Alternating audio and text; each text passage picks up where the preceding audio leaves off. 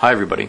This is a private message which I received from a friend of mine on the 31st of December of last year. I keep all my correspondence uh, private. However, in this case, I just, uh, given the situation, I had to bring this to your attention. Okay, I'm just going to go ahead and read it for you all. Re.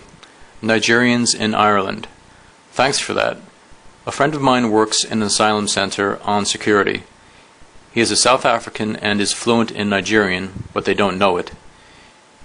He says some of the comments they make are beyond belief. The one they seem to use a lot is Mugu Iyumbu, which I'm told means white shit for the locals living in the area. The other one that is very common is so and so pregnant, yet she must get pregnant to stay here and get welfare.